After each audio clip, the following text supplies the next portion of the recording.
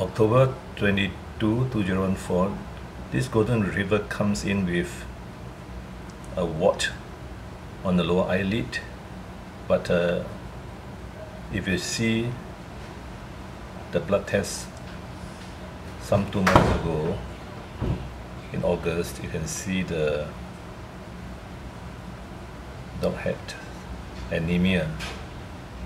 On questioning the owner, there were, there were tick bites as the spot on insecticide, insecticide was not working well.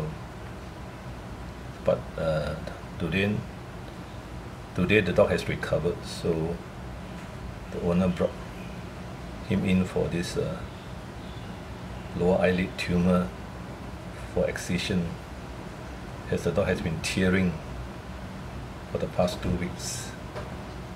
Toa Payoh vets. Eyelid tumor.